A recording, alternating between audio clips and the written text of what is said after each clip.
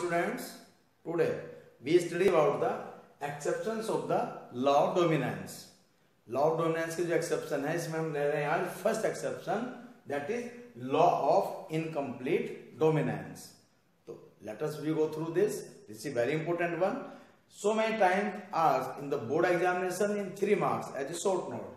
So, inheritance of flower color in dog flower that is snapdragon it is also known as antirrhinum majus this is the good example और we can say that the incomplete dominance का जो good example है it is shown by the dog flower और snap dragon इसका scientific name है antirrhinum majus is the good example of this exception this law states that when a dominant allele does not completely mask the effect of a recessive allele means dominant allele does not completely overlap the recessive allele and the organism resulting of physical appearance show a blending of both alleles means जो F1 generation में उनकी जो blending होती है जिन alleles की है ना तो physical appearance show a blending of both alleles उनकी, दोनों की ब्लेंडिंग उनमें मिक्स होती है. यानी कि दोनों कैरेक्टर एक साथ मिक्स होकर दिखाई देते हैं.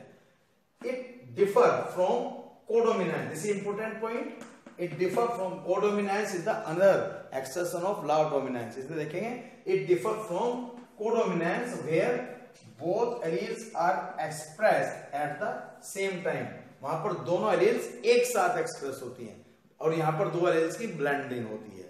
तो let's we go through the cross this is the red colour flower plants and this is the white colour flower plants P1 इसे हमने नाम दिया। These are the parents P1, red and white colour plants here the gametes are form that is G1, a selfing. जब इनके बीच selfing यानी cross कराया गया all plants were capitalized small r that is f1 generation. अब according to law of dominance इन्हें कैसा होना चाहिए था? दीज आर द रेड ये आपके यहाँ पे है भाई red colour and these are the white colour parents तो यहाँ पर according to law of dominance इन्हें कैसा होना चाहिए था? इन्हें होना चाहिए था red but these are the pink इसे कहते हैं blending of the this the blending of the genes यहाँ पर दोनों तरह की जीन्स की ब्लेंडिंग हो गई।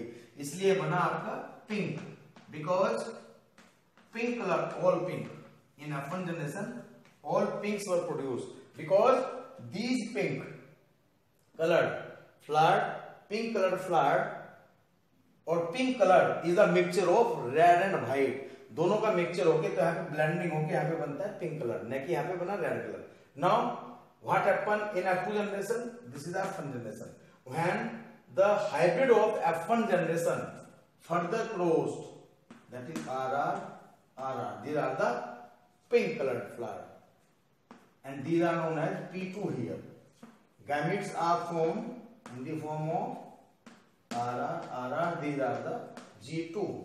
And the selfing is done between both. We find that RR, that is capital R, small r, capital R small r small r small r this is the F2 generation तो here हम देखते हैं भाई phenotype phenotypic ratio will be phenotype as well as genotype दोनों को देखेंगे हम यहाँ पे phenotype. This is the red. तो red is the one. These two are the pink.